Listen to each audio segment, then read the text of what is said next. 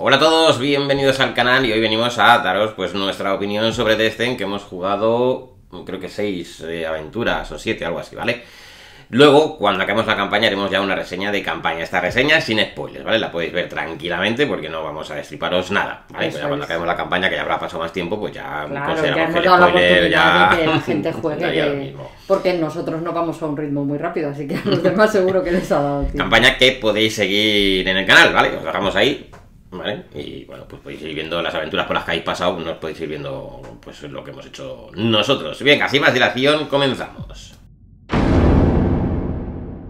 Bueno, pues empecemos entonces por la calidad, como siempre.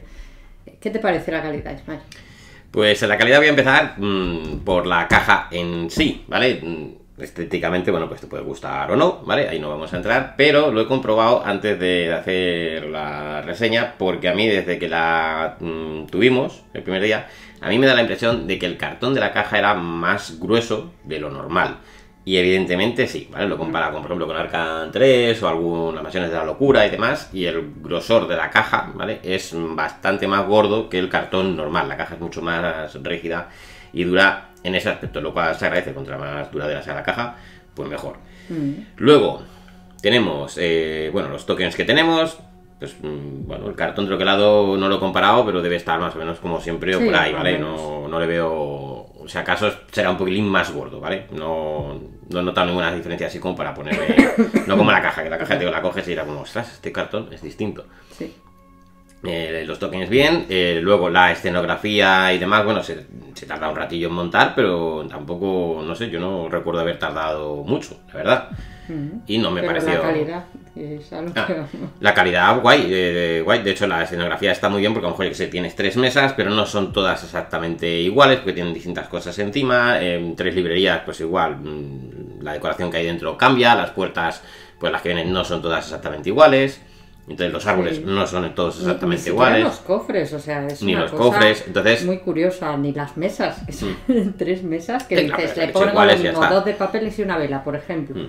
Pues no, no son No, iguales. son, son distintas. Entonces, eso se agradece. El- la calidad mm, bastante buena. La calidad de las cartas, yo creo que es la típica de Fantasy Flight. ¿Vale? Sí. Lo he dicho. O sea, si hay un dif- una. Si hay una diferencia de grosor será más, pero no sé. No, al, al menos al cogerlas no, no me dio esa impresión de ostras. ¿vale? O sea, que yo creo que es exactamente igual. Y. La calidad de las ilustraciones. Bueno, para gustos los colores, yo tengo que decir, que ya lo he dicho, que mm, es verdad que el arte, una vez que lo tienes delante en físico, es mucho mejor que mm, verlo a través de vídeos, ¿vale? Que era como lo habíamos visto nosotros al principio. Además, habíamos visto poco y decíamos, jo, pues no, no sé, no, no me disgusta. Yo decía, no me disgusta, pero tampoco tal. Pero una vez que lo tienes delante y demás, dices, ostras, está muy bien. ¿sabes? Sí, que me ha parece que se integra bastante, ¿no? Sí, todo y con un tono que transmite un poco un tono de oscuridad, ¿no? Porque estás ahí en la cuarta oscuridad y es verdad que un poco lúgubre, ¿no? Un poco Sí. hasta la carta de mm, consumibles, pues así con ese tono gris y demás. O sea, es como algo de, no, estás en una época oscura, no tengas arriba.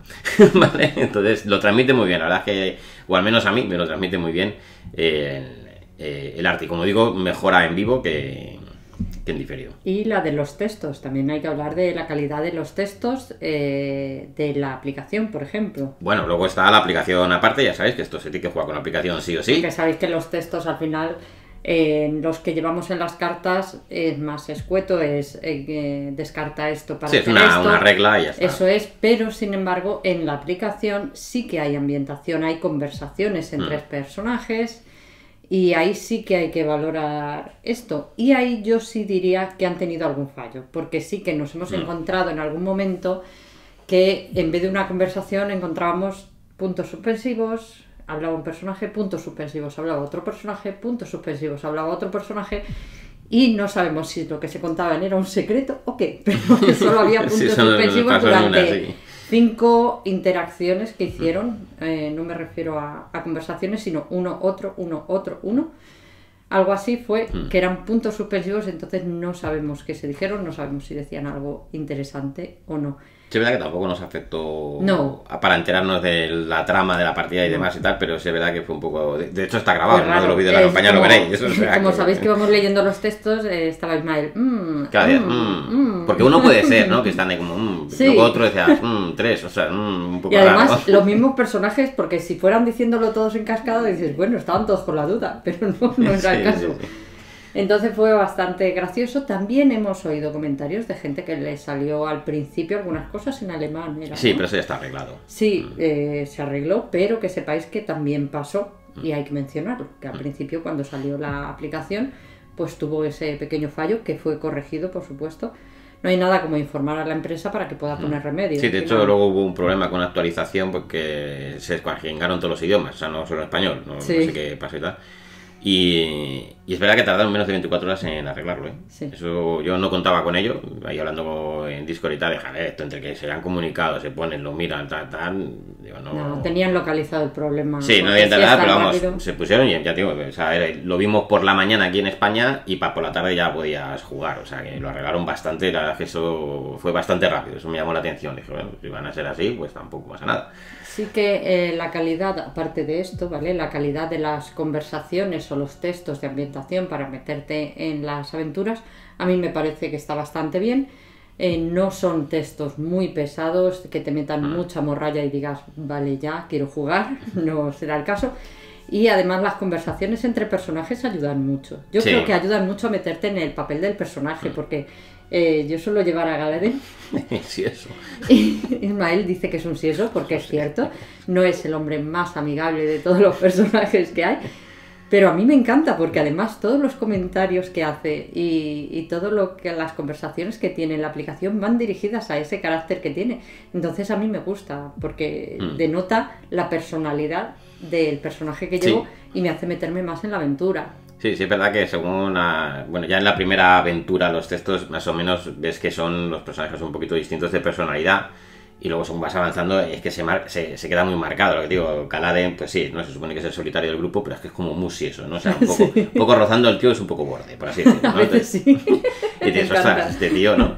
Luego está Bren, que es como, digamos, eh, la líder, ¿no? La que la echa para adelante. Siempre va, venga, va, vamos, tal, muy, muy echada para adelante. Luego está mm, Kelly, que es el trasto del grupo. Sí, es Este- como una pícara en el sentido de que siempre está buscando jaleillo y metiéndose. Sí, toquetearlo todo, sabe algo y no Sí, lo puede sí, toquetear. sí. Entonces, eh, no es ya que el personaje en sí mm, pues interacciona con esas cosas, está guay y demás, sino que eh, en los textos y demás es pues, esa persona inquieta que si ve algo tiene que trastearlo con ello y se Sí. nota. Entonces, es pues eso, es como el atrasto, te puede meter un lío simplemente por el hecho de haber trasteado con algo.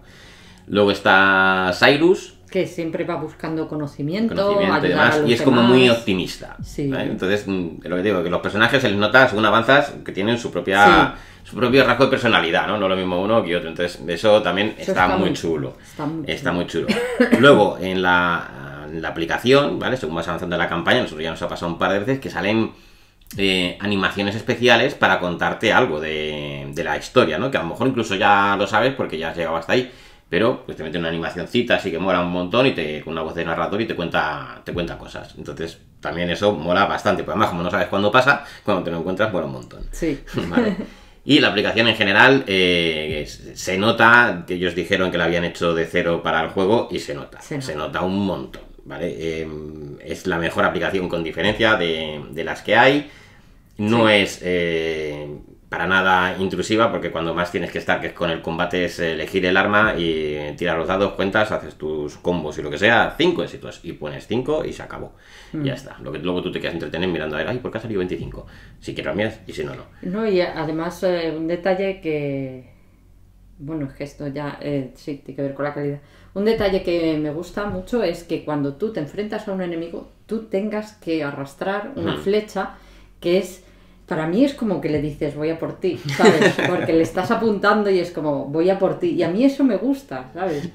O voy a ir allí, en- cuando arrastras a un árbol o a un cofre o algo. Entonces mm, me gusta que no solo cliques, Hmm. no es- son pequeñas tonterías, son pequeños detalles, pero me gusta que no solo cliques, además- sino que tenga que dirigirme. Claro, me dirijo allí. Además, eso le da la capacidad a la aplicación de saber qué personaje está haciendo qué. Sí. Que eso influye, ¿vale? Eso no es lo mismo que lo haga uno que lo haga otro. A veces, a veces da igual, ¿vale? Porque hay, digamos que a lo mejor hay cosas genéricas de me subo al árbol. Bueno, pues te vas a subir al árbol. ¿Vale? Tendrás que hacer una prueba, pues dependiendo del personaje te va a ir mejor o peor. Pero luego hay otras cosas que sí son más específicas de los personajes y no es lo mismo que lo haga uno que lo haga Sí. otro, ¿vale? Pasan distintas cosas. Entonces eso está muy, eh, muy chulo. La aplicación en ese aspecto está brutal. Otro aspecto muy brutal de la aplicación, la banda sonora. Bestial. Oh, bueno. O sea, esa banda sonora cuando estás jugando y cuando vas a combatir y sale automáticamente el tema del héroe, porque claro, como sabe qué héroe va a atacar, y suena la música de, de ese héroe. Si estás explorando, tienes una música a lo mejor un poquito más así, siniestra y oscura. Es brutal, te mete Sí. en la. O sea, es una barbaridad. O sea, está muy bien, porque no es como el Mansiones, que es todo el rato, digamos, el mismo. En bucle. En bucle, el mismo tema. No, no, aquí pues si ataca uno es una música, si ataca otro, eh, otra música. Si es la fase de oscuridad, otra. Que estamos ahí pensando y tal, otra música diferente. Que estás en la ciudad, otra música diferente. Y entonces está muy bien y te ayuda muchísimo más a, a la inversión. La verdad es que sí. Y yo creo que de calidad poco más, ¿no? Iba a decir algo más de la Ah. aplicación, pero se me ha olvidado. Suscríbete. Ya. Otra cosa que está muy bien de la aplicación es que en lugar, cuando los villanos se activan, ¿no? Y pues hacen sus cosas, ¿no? Te pegan estas cosas. Y luego tienen lo que llaman las tácticas. Pero está muy bien que en lugar de decirte la regla, es decir, pues en la próxima ronda el villano 1 va a hacer un ataque a distancia. O va a robar esto. O va a... No, te lo cuentan de forma temática. Entonces te pueden decir, pues tal personaje está haciendo una plegaria y escuchas el nombre y dices, vale, ya sé que a mi o personaje le va a pasar algo. está mirando de reojo. Claro, entonces está muy bien, ¿vale? O sea, si lo jugáis de primeras, cuando os pase eso, tened en cuenta que normalmente eso tiene un impacto de algo que va a pasar después. Sí. Te está avisando, pero en lugar de decirte en el próximo turno el villano 2 va a hacer tal cosa, no, te lo cuenta de forma temática, ¿vale? Pues está empezando a invocar un hechizo o hace un gesto con las manos y tal y no sé qué. Entonces está muy bien, ¿vale? Sí. Muy bien. Porque además luego también le sacas partido. Es decir, la primera vez que te pasa, pues a veces ya es la sorpresa. Me dices, ostras, lo que ha hecho. Cuando vas en otra partida, sale ese mismo tipo de enemigo y te dice que está haciendo no sé qué tal con las manos y dices, hostia, cuidado. cuidado que ya sé lo que va a hacer. Sí. Entonces está bien porque vas conociendo a los enemigos según avanza la campaña. Entonces eso es un detalle que a mí me ha gustado mucho. En lugar de decirme la regla, me lo dice de forma temática y con la experiencia de ir avanzando y conociendo a los enemigos ya sé qué es lo que va a pasar. En lugar de, pues va a mover 5, va a hacer no sé qué. Sí. Y llegamos, pues, eh, de calidad, hay que hablar, como no, de las miniaturas. ¿Vale? Esto es otro nivel, ¿vale? No hay ningún juego de Fantasy Flight que se acerque a la calidad de estas miniaturas, ¿vale? No hay ningún juego de Cool Mini or Not que se acerque a la calidad de estas miniaturas, ¿vale? No. En juego de mesa, estas son las mejores miniaturas, ¿vale? De hecho, lo hemos hablado pues con más gente y demás. No solo eh, o sea, las miniaturas en sí, sino el plástico con el que está hecho. Es Sí. que hay detalles que te das cuenta, tú abres la caja, sacas el tumulario que tiene fecha- flechas clavadas y las flechas están rígidas como palos. Y dices, esto ya, esto es otra cosa, ¿vale? No es el típico plástico que se me dobla. No, esto es otra cosa y es otra liga, ¿vale? Los detalles son increíblemente flipantes, las miniaturas están, pero es que son una maravilla de plástico duro y muy bien hechas, ¿vale? Nosotros, pues hablando con gente que sabe, mm, con Borja de Atlántica Juegos, por ejemplo, o con Ballstar, que es uno de nuestros Sí. mecenas, y ambos que son gente que está muy metida en el mundillo, y han- mm, hablando con ellos me han dicho lo mismo, dice, está eh, Game Workshop, Sí, dice, porque siempre esto está es- eso ahí. es la, la otra liga, miniaturas de Destin, y luego ya pues lo típico de. Cool Mini or Not y el resto del mundo. O sea, es mm, para un juego de mesa yo nunca había visto algo así y si encima las vas a pintar lo vas a agradecer, ¿vale? Porque no tienes que dibujar, o sea, los detalles se ven. Puedes tener el problema de este detalle es muy pequeño, ver cómo lo pinto, ¿no? Pero Porque el tiene detalle está. Pero el detalle está, o sea, tú sabes que eso esto es una filigrana de la armadura. Veremos a ver Sí. cómo la pinto o cómo lo hago, pero se ve perfectamente y demás. Sí. Espectacular, de o sea, espectacular. Y yo mencionando a las miniaturas, también yo en mis películas, como siempre, voy a agradecer otro detalle porque en las miniaturas tienen eh, en la base, se encaja una piececita que son de colores, ¿vale? Hay naranja, amarillo, verde, para identificar cuando tienes, por ejemplo, varios bandidos, pues tienes que identificar cuál es cuál porque en la aplicación van eh, por colores y demás. Pero es que esas piececitas tienen unas muescas. ¿Por qué esas muescas? Para la gente que es daltónica. Yo no soy daltónica, pero de verdad que los tengo en cuenta porque los pobres tienen sus problemas, sino a la hora de jugar. Entonces, no solo es que a uno le pongas la naranja con una muesca y al siguiente bandido la verde con dos muescas. Es que las muescas son para la gente que no distingue los colores, ¿vale? Que son daltónicos. Y a mí esas cosas, sabéis que me parece un detallazo, no, no es mi caso, que yo no, no tengo el problema a día de hoy de distinguir colores, pero me parece un detallazo, porque es incluir a más gente en sus juegos de mesa. No tengo más que decir.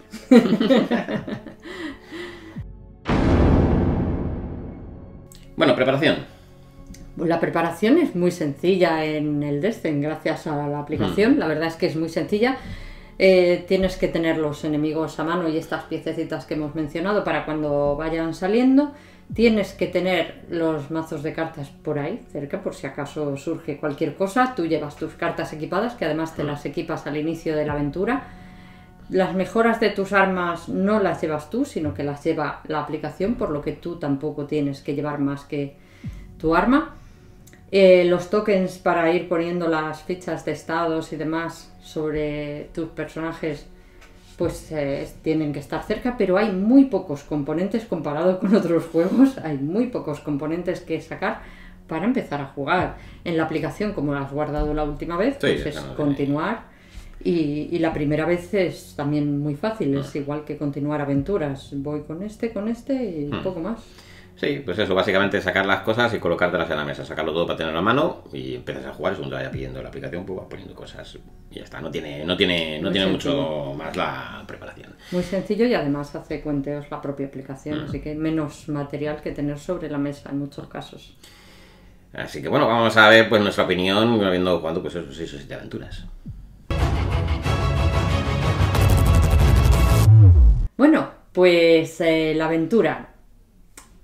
El juego a mí me está encantando.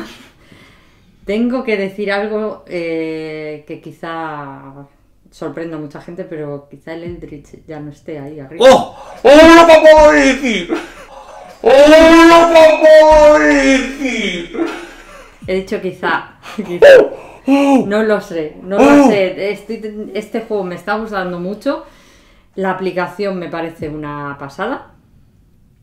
Y es verdad que el Eldritch sigue estando ahí, por eso digo que no lo sé, ¿eh? no lo sé. Tendremos que esperar a los mejores juegos que hemos jugado del año y tal para ver dónde se coloca. Si no hemos jugado al Eldritch, volveremos a jugar para que haya intriga con ese top de este año. Y mal hay que jugar. haya intriga con el top de este año. Así que tendréis que esperar a ver.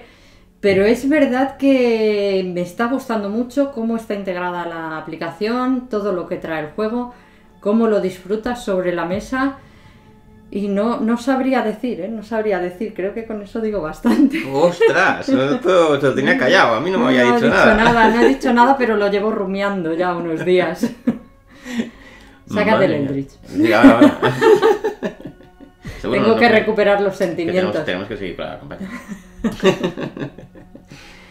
eh, mm, ¿Vas a añadir más? No, no, sí. Yo, eh, esto, eh, a ver, esto para mí, ¿vale? Es todo lo que quiero que tenga un juego de mazmorra, un Dungeon Crawler. Para mí esto es una maravilla, Mm.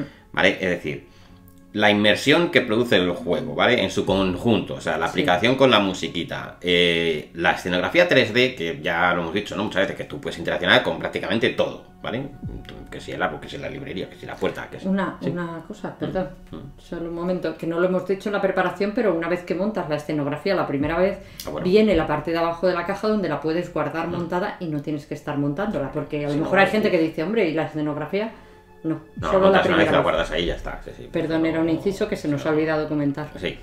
Eh, lo que decía, la escenografía, que tú puedes hacer cosas con ellas, además, digamos que hay como unas cosas típicas que siempre se te van a, siempre se van a repetir, hay tres cosas en una librería que siempre vas a poder hacer, pero en función de la misión o de la aventura, puede pasar que haya más cosas que hacer en una determinada librería, o que incluso haciendo unas de las típicas, pasan cosas extra, ¿vale? Que eso, pues lo que digo, está muy bien, y además depende del personaje que lo haga y demás, pero es que imaginaros que solo es estético, ¿vale? Que no puedes hacer nada, y lo pones, ¿vale? Es que la inmersión que produce es eh, la, la escenografía, ¿vale? Es muy... mm, es- es- yo ya lo he dicho, es el juego más inmersivo que he jugado. Es que tú abres una puerta y te dice, hay unas escaleras que suben a la torre. Y es que tienes unas escaleras que físicamente tienes que subir hacia arriba. O estás en una plataforma, abres, pues bajas al sótano y hay una escalera te- que te conduce hacia abajo físicamente hacia el sótano. Una librería es una librería. Es, es muy espectacular, ¿vale? el grado de inmersión que tiene el juego. Lo que digo es, aunque no pudieras hacer nada con la escenografía, ¿vale? Mm. La inmersión, pues te la produce, ¿sabes? Es muy bestia. O sea, esto hay que probarlo. Para entenderlo hay que probarlo, decir, ostras, lo pruebas y, ¿sabes? Es, que la inmersión es brutal. Y eso a mí, claro, me encanta y, y me pirria. A mí otra cosa que me gusta mucho ahora que has dicho eso es la lógica que usa el juego. Mm. Que esto va a sonar raro, ¿vale? Pero eh, tú juegas a juegos que a lo mejor te dicen, pues se ha escondido, ha escondido no sé qué en la habitación. Y tú dices, pues si ha escondido un pingüino no lo voy a buscar debajo de unos papeles. Pues eh, hay aplicaciones que dices, ostras, el pingüino está debajo de los papeles. No es lógico que un pingüino esté debajo de unos papeles porque se vería el pingüino, ¿vale? En este juego han usado la lógica. Entonces, cuando buscas, por ejemplo, eh, papeles, pues tienen que estar en sitios donde tú, lógicamente, pongas papeles encima de una mesa, en una estantería o no los vas a buscar eh, que crezcan en los árboles en principio. Entonces, sigue una lógica que para las personas como yo es importante, ¿vale? También quería mencionarlo como punto a favor. Sí, o sea, eso sí es verdad. Te dice tal cosa, será esto. Y sí, sí, es, pues, la mesa solitaria. Y hay una mesa en una habitación sola y dices, ¿será eso? Evidentemente, en la mesa solitaria vas para allá y ahí pasa algo. Entonces está. Claro, claro, tiene su lógica. Lo que te dicen es muy lógico. Eso está Entonces, por un lado, la inmersión, que me parece, mm, pues esto, una, una barbaridad. Luego, lo rápido y dinámico que es. ¿Sabes? Cuando tú vas a atacar, tú ya más o menos sabes el arma que tienes preparada nada, buscas ahí tus fatigas, tus, incrementos, ya que combo puedes hacer y ya está. Es que es muy rápido, en ese aspecto es muy rápido. No estás tres horas pensando en el ataque, no pues le ataco, tiro el lado, pim pam pum, hago esto y ya está. Según vas avanzando en la campaña, vas teniendo habilidades y vas haciendo cosas con las armas, que ahora es eso también lo comentamos. Entonces, lo rápido y lo dinámico que es, ¿vale? Es muy fluido. O sea, mm, no, no pierdes el hilo de la historia porque estés haciendo ahí muchas cosas. ¿Vale? Está, también es tan fluido que ha pasado no sé qué, nos han dicho no sé qué, tengo que ir para no sé dónde, y tú vas ahí pegando y tal, pero como es tan rápido y tan fluido, no pierdes el hilo la historia. ¿De dónde estaba yo? ¿Qué estaba haciendo? No, no. Eso va muy fluido y cada dos por tres tienes ahí historia metida. Que está muy bien. Y luego los escenarios que hasta donde hemos jugado nosotros, es que son todos muy diferentes. Todos muy diferentes, muy espectaculares, muy divertidos y hacen cosas eh, que antes eh, no, no, no, se podían hacer. El típico juego, hay un incendio y pones un token de fuego. Aquí no hay token de fuego. Aquí tienes las cosas estas de abajo que son como de lava o de incendio, ¿vale? O ascuas también te sirven. No recuerdo se llama. Subterreno, no sé. Sí, las, estas, las eh, tarjetas que se ponen por debajo. Que hay distintos terrenos. Hay uno de ellos que es, pues te puede valer para incendio, para lava o para lo que te digan y demás. Entonces, el ver un incendio y que te merma el tablero porque, o sea, como si fuera un fuego de verdad, es que, es que está muy bien, es que dices, joder, está muy bien pensado esto. Sí. Está eh, brutal, ¿vale? La inmersión, eh, la dinámica del juego, em, cómo te metes y se te pasa el tiempo volando aunque estés tres o cuatro horas jugando y dices, ya han pasado tres horas, y yo pensaba que llevábamos menos, una cosa de locos, de verdad, o sea, está muy bien. Y otra cosa que mola muchísimo, eh, la aplicación cuando tú vas forjando cosas, ¿vale? Vas haciendo pues cositas para tus armas, para todos los héroes. Y luego, eh, claro, cuanto más avances y más cosas vas haciendo, luego tienes más capacidad de elección. Entonces, antes de la aventura, ¿qué le pongo a mi arma? La empuñadura A, la empuñadura B, el mango de no sé qué, la cuerda tal. Entonces, mm, antes de cada aventura tú puedes diseñarte tu propia arma. Es decir, tienes como la base y le puedes añadir cositas secundarias y demás que le dan propiedades a, a las armas. Y ya, la guinda del pastel es que estas propiedades normalmente son estadísticas, es decir, se activará con una probabilidad del 20%, del 50%, de la que sea. Claro, eso con otra. Si no tienes una aplicación, eso sí que no lo puedes hacer. No puedes hacer. Y está muy bien, es decir, porque no es que siempre tú le pongo esto y siempre no, no, no va a funcionar siempre, pero en determinados momentos sí que va a pasar, ¿no? Te va a dar, pues, te protege un poco más o lo que sea. Eso creo que lo hace más épico incluso. ¿no? Lo hace más épico, claro. Cuando ocurre es como, ¡guau, mira, tal! Además, como siempre es un momento de necesidad, quitando a lo mejor los primeros compases de cada aventura, luego siempre son momentos de necesidad. Entonces, pase cuando pase, viene muy bien, ¿vale? Viene muy bien que eso pase. Sí. Entonces, el forjado de las armas, el ir a la tienda, el a ver qué tenemos, qué nos falta, el prepararte los consumibles, que te prepares una receta que has conseguido, y, y, a partir de ahí ya lo tienes siempre. Lo si quieres lo llevas, si no, no, pero tú dices, claro, es que yo ya me sé la receta y ya tengo los ingredientes, pues esto ya está. Yo ya tengo aquí frascos de esto para toda la campaña. Mm. Está muy bien. A mí me ha gustado mucho Sí. también esa parte de, de elegir ahí las armas y, y demás. Porque además, el- las armas, según las sagas, va a definir un poco, digamos, el. Iba a decir el carácter, pero no sé si es lo apropiado, sino el estilo de combate de tu Sí, personaje. el estilo. Mm. ¿Vale? Pues que es- puedes tirar para un lado o para hacer otras cosas o tal. Entonces, es una forma de personificar el personaje a través de las armas, ¿no? Las armas Sí. que lleva, pues va a ser de una manera o de otra su estilo de combate. Eso está chulísimo también, a mí me parece una maravilla. Está muy bien porque el personaje llevando, si yo por ejemplo que llevo a Galaden y cualquiera de nuestros mecenas o demás lleva a Galaden, no puedes, no tiene por qué ser el mismo Galaden, porque hemos hecho varias elecciones Claro. durante la aventura porque hay que tomar verdad, decisiones. lo muchas. Sí. También hay que tomar decisiones que forjan el carácter, no solo de la aventura, sino del propio personaje. Y además yo le estoy equipando de una forma que el otro, la otra persona no lo está haciendo, lo está equipando de otra. Entonces, eso le da, te da una sensación de llevar un personaje Único. único, tuyo, propio. Tú estás jugando con este personaje que sí que es, es Galaden, pero no es ese Galaden, es mi Galaden. Y eso te, te hace más inmersivo. Todavía sí que Sí. el juego. Sí. Luego, a ver, otras, otra cosa. eh, tú puedes jugar con dos mini. Si juegas solo, como mínimo tienes que llevar dos héroes, ¿vale? Puedes llevar más. No le veo mucha dificultad en llevar más héroes, ¿eh? No es, no es complicado. Puedes llevar más, aunque solo fueras una persona. Pero lo bueno es que, digamos que, claro, o sea, la aventura empieza con cuatro, luego vas añadiendo los otros dos, pero es un grupo. Entonces, digamos que el grupo evoluciona más o menos junto. Entonces, si tú consigues puntos de experiencia, aunque no hayan estado eh, dos de los personajes, esos personajes también tienen su punto de experiencia para conseguir la carta de habilidad. Entonces, quieras que no, avanzan. Evidentemente, con los que más juegues, ¿vale? Pues son los que más cosas le vas a poner o más le vas a forjar, pero nosotros igual que forjamos las armas para Bren y para Galaden, cuando vemos que hay opciones de hacerle cosas a los demás y podemos o compramos esto y se lo vamos haciendo de tal manera que cuando un personaje de los otros entra en juego, pues No que, entra pelado. claro, que no entre muy descolgado del nivel de los otros, sino que digas, hombre, que puede aportar este personaje. Mm. Y mm, no sé qué más. eh, ah, lo de las decisiones, ¿vale? Que a lo largo de la campaña se toman decisiones, todos los personajes van a tener que tomar decisiones y eso afecta mm, pues a la campaña en sí y demás. Entonces está muy bien, porque además también depende del día, ¿no? "Oye, estoy un poquito más vengativo y estoy un poquito más no sé qué. Sí, Pues o me ha hecho no sé cuánto, Mm. pues no se lo perdono. Hombre. Así que no sé si nos habremos dejado alguna cosa, que es posible. Es posible ¿vale? Porque hay mucho detalle son y- muchas cosas las que tiene este juego.